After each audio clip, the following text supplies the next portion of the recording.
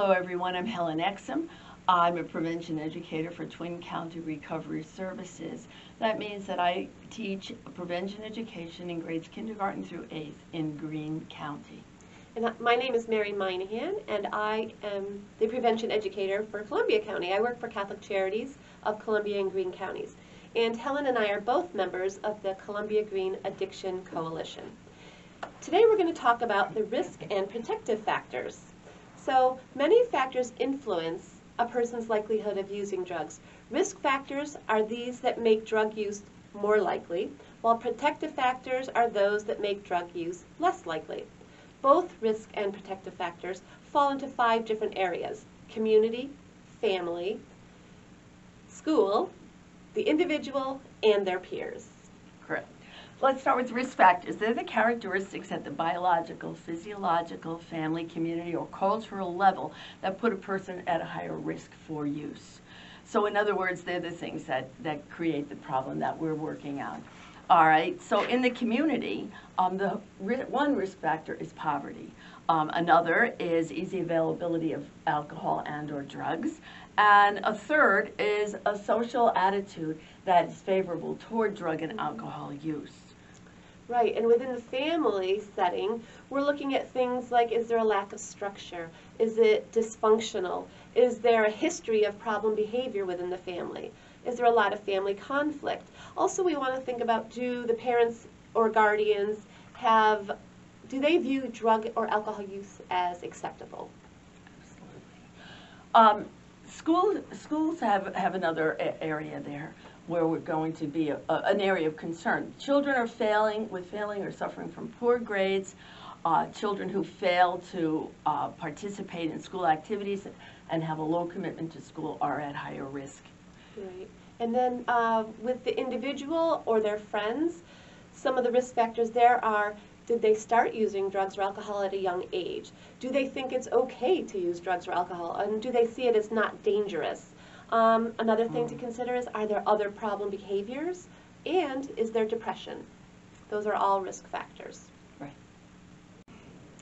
So we've just talked about the risk factors, those that make drug use more likely. Now we're going to talk about protective factors, those that make drug use less likely. Correct. And protective factors fall into the same five settings yes. as, as the risk factors did. These are the, the factors that promote healthy youth development and assist the kids in navigating their teen years more, a lot more successfully. Mm -hmm. So let's take a look at, at the uh, communities and the school domains. Um, these provide, or can, these can provide and should provide um, opportunities for uh, youth uh, participation. And these participation needs to be rewarded and acknowledged while, it, while it's happening. It's mm -hmm. important that we notice and recognize that kids who are making good choices because you know, we want to give them plenty of opportunities to make those good choices and participate in activities like um, theater, uh, perhaps uh, clubs, uh, youth groups, and sports. Yeah. All I, of these things you know, are factors that are, are valuable to them. Yes, and then within the um, family setting, some protective factors could be providing a sense of belonging, setting clear, strong boundaries, um, having open communication between the adults and the young people. And also, it's never too early for the parents or guardians to start that prevention discussion with their young people. Some examples within the friend or peer and individual settings are a belief in a higher power, knowing right from wrong, um, spending time with friends that are also making good decisions, um, managing emotions, setting goals, and learning to get along with others. Those are all protective factors. Absolutely. Those are all factors that we teach in school um, as well. So Helen, at what stage of development are children at highest risk of using drugs?